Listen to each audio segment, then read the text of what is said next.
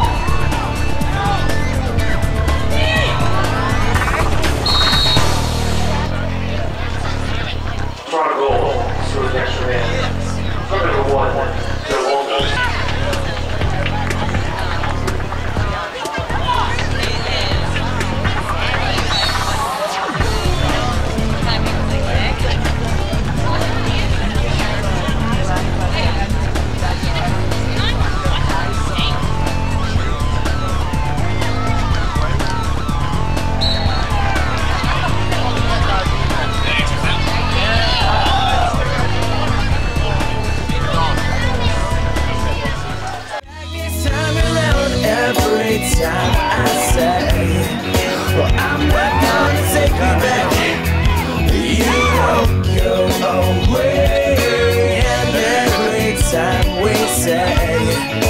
Maybe we should run it back.